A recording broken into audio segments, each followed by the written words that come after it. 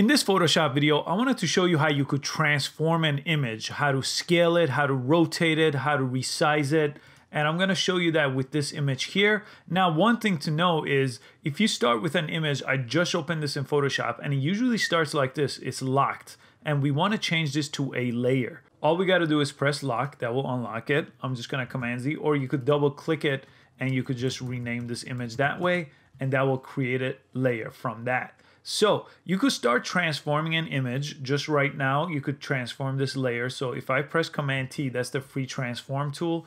I could just transform that image like that. But before we do that, I'm gonna press Command Z. I recommend duplicating this. So you could just select this layer and you could right click on it and you could just duplicate that layer. And my background layer now, I'm gonna turn it off. This way, if you do anything destructive with your copy layer, you always have the original layer to go back to.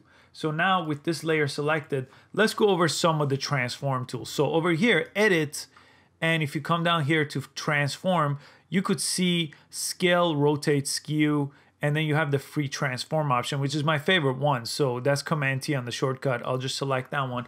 And that'll let you do many, many things. Like you could grab any corner here and you could change the size of the image.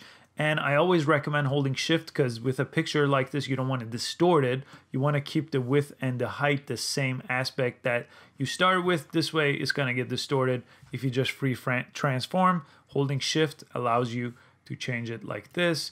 Again, if I press V for the move tool, I could bring it to the center here. If you grab it from any sides, you could change it this way. Again, if you were working with a shape, these are much handier than working with an image. So I'm gonna press Command Z.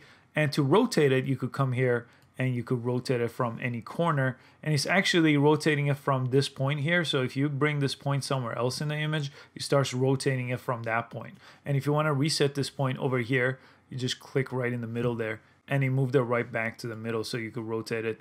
And if you don't want any rotation, all you gotta do is you come over here and press zero on the angle and that'll reset it and press OK. So now again, with the free transform tool, let's press Command T to get the free transform tool. You could just right click or control click here and it allows you to just rotate and do flip horizontal and flip vertical without going into the menu. So for example, if you do that, I'm gonna press Command Z, again, right clicking it, you could change the skew That'll create effect like this if you wanted to skew your image for some reason. Let's look at perspective. You could change the perspective of the image. This is kind of a cool effect. And you could warp the image too. And there's a lot of warp options. Like there's this one that's a fish and it'll change your image that way. And you could change the bend of it to any size you want to. So if you want a really subtle bend of a fish, you could just change this number and then press OK. Again, I could press Command Z to go backwards. So now if you distorted this image too much and you wanted the original image, luckily you have the first one. So go ahead and delete this one and you could just turn on your original layer and we're back to where we started.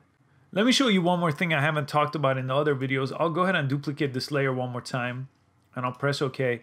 I'll just go ahead and press Command T to resize the top one. I'm holding Shift and I'm just gonna make it smaller and I'll bring it right here. Let's just make it this size and I'll move it over here. And now I'm gonna press the check mark to say that's okay. There is a really cool option here in the layers panel with opacity. So if I click my background layer here, I could change the opacity of it to be much lower than the other layer. So now with the top layer, I could move it somewhere else in the image and I could create some layer styles to it like a stroke and I could change the stroke size to just like a four and then I could put that on the inside and then I could start really playing around with these kind of image in image using opacity and using layer styles on top of each other. So the free transform tool really comes in handy right here if I wanted to quickly change this and then I could just press OK and then I want to change the background to be a little bit darker so this really stands out so I could use that satin overlay and I could make it much darker and press OK. So those are some options with the layers where you could work with opacity and work with layer styles and then work with the free transform tool to work with two images on top of each other and create a cool picture-in-picture -picture effect for your photo. Please give this video a thumbs up and stay tuned for the next video in our Photoshop tutorials. I hope to see you there. Thanks for watching.